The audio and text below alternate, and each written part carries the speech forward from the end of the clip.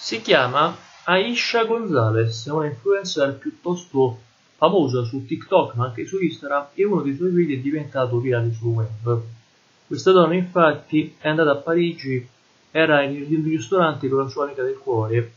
La donna non vedeva l'ora di scattare qualche foto da postare col suo abito nuovo formato da un piccolo top metallizzato dei jeans di colore scuro. Il cameriere però, diciamo così, che ha storto il naso e le ha chiesto di indossare un cappotto o comunque degli abiti che andavano a coprirle quasi per intero il corpo, forse perché troppo scoperto o scollacciato.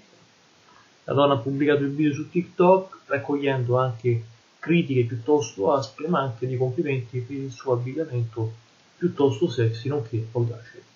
Alla fine pensate questa donna si è vista costretta a cenare col cappotto addosso perché questo cameriere era letteralmente scandalizzato dal suo top evidentemente troppo scollacciato, la donna stessa ha detto non ci volevo credere, tutto vero.